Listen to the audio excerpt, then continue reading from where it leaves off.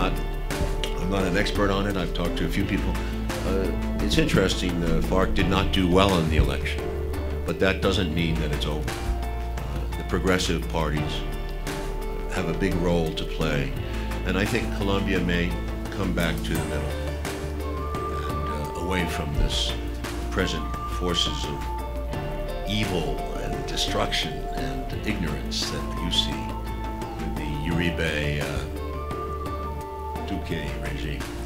I hope. Uh, remember that M M19 made 20% of the vote several years ago. 20% of the vote. That was a very good showing.